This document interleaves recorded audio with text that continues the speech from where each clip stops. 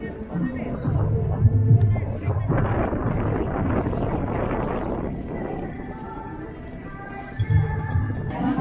seluruh masyarakat yang ada di sekitar lokasi acara. Mari bersama-sama kita akan menyambut kehadiran dari Gubernur Jawa Timur dan juga Bupati Banyuwangi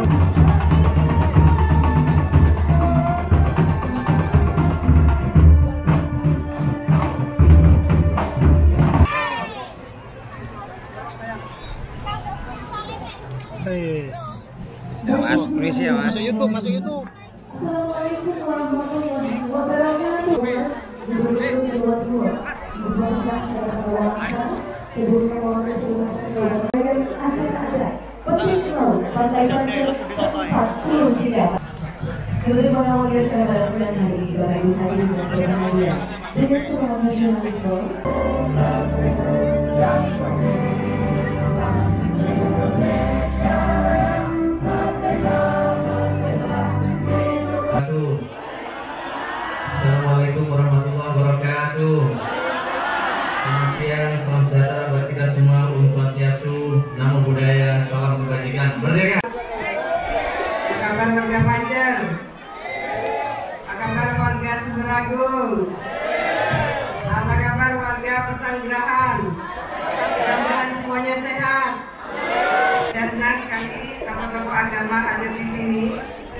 Ulama hadir di sini. Bagaimana sebetulnya antara tokoh agama, para ulama, dan kemudian adat budaya kita bisa bersatu berseiring karena masing-masing daerah punya kearifan-kearifan lokal. Pak Bupati, kearifan lokal ini adalah kekayaan negeri kita, kekayaan bangsa kita. Kalau Pak Presiden Jokowi sering kali menyebut suku bangsa di Indonesia itu 714. 714 suku. Di Afghanistan 7 suku itu kalah Presiden Afghanistan ketika ke Jakarta. Itu sampai tanya kepada Pak Jokowi.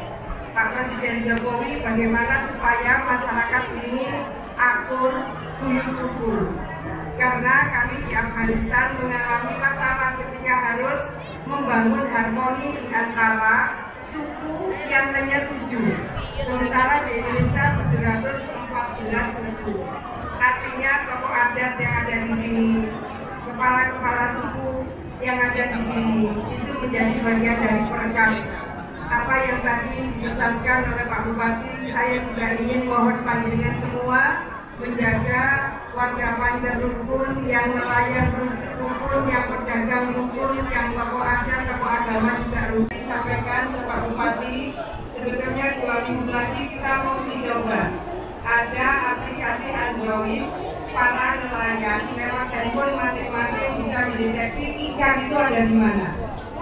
Kalau panjenengan melalui handphone bisa tahu posisi ikan di mana, satu pasti energinya bisa lebih efisien. Kedua waktunya panjang bisa lebih efisien. Ketiga BBM-nya juga bisa lebih efisien. Keempat panjang bisa mendeteksi pokoknya kita mau ke kanan atau lurus atau ke kiri karena di situ menurut menurut aplikasi ini ikan itu berada. Kita akan melakukan uji coba Nyun Pangestu kira-kira dua minggu yang akan datang. Ya tadi sudah tetapkan sama Pak Bupati kalau nelayan Pancer siap, kita ingin melakukan itu salah satu titiknya adalah di Pancer. Siap, Boden? Kalau Surabaya itu kota, yang kabupaten ini baru Banyuwangi.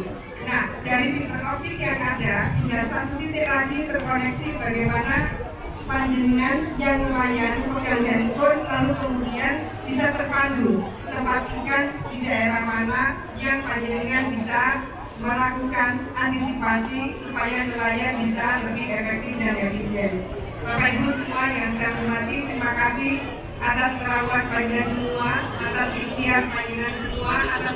Partai Pancur ke-43 pada hari ini, kita akan bersama-sama menyaksikan penyematan anting dan pancing emas oleh Gubernur Jawa Timur beserta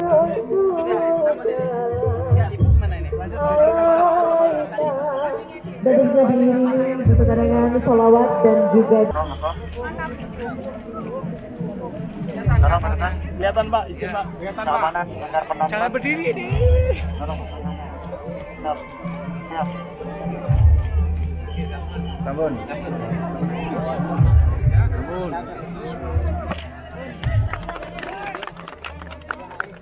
Uji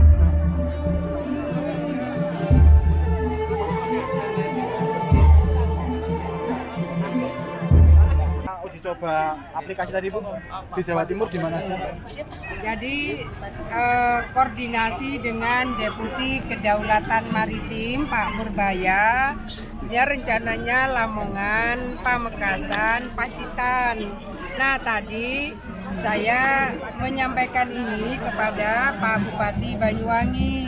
Jikalau misalnya nelayan yang dipancer ini bisa masuk di dalam program itu tentu kami lebih senang kalau yang langsung diuji coba bisa lebih dari tiga. Sementara ini kan yang kita sudah bikin apa eh, pemetaan itu di tiga titik.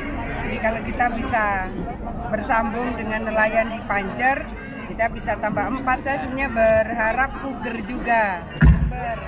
Jadi eh, sebetulnya aplikasi Android untuk bisa mendeteksi di mana posisi ikan itu sekarang ini sudah diuji coba di Indramayu.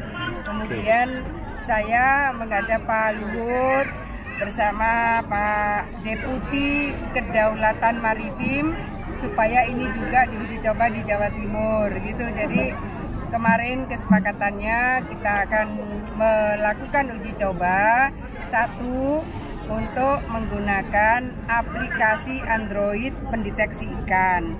Kedua, yang lebih penting lagi adalah ada teknologi dari ITB yang bisa menjaga kesegaran ikan. Jadi bukan pengawetan, kesegaran ikan dengan menggunakan Pio. Pio itu eh, penyegaran ikan organik itu menggunakan daun kesemek. Sementara ini daun kesemek ini masih disuplai dari Aceh. Jadi saya sudah minta induknya untuk bisa dibudidayakan di Jawa Timur karena UPT-UPT pertanian Pemprov juga cukup signifikan. Nah, apa yang ingin kita lakukan adalah berseiring dengan untuk menjaga daya dukung alam. Biasanya kan pengawetan ikan ini melalui cara-cara ada es, ada garam. Kalau mau di kalau nelayan di Pancar siap ini bisa masuk dalam apa eh, uji coba insya Allah dua minggu ke depan. Bu, Bu terkait Papua Bu, ada rencana katanya mahasiswa Papua mau pulang semua ke daerah asalnya. Seperti apa Bu? Satu, ini adalah sebuah kebutuhan. Ketika Pak Menteri Perindustrian itu memberikan eh, penugasan kepada Jawa Timur untuk menjadi pilot project Making Indonesia 4.0. Maka di antaranya fiber optik menjadi bagian yang penting untuk membangun koneksitas, terutama untuk memudahkan layanan publik. Kalau sudah ada koneksitas, layanan publik bisa dilakukan secara online, maka ini akan membantu terwujudnya big data. Big data ini menjadi penting, layanan-layanan bisa menjadi lebih cepat dan lebih efisien. Nah, ini kita harapkan akan berseiring dengan rencana diresmikannya KIK Singasari yang salah satu klasternya adalah digital IT. Jadi ini nyambung. Siap, makasih. Terima kasih Bu ya.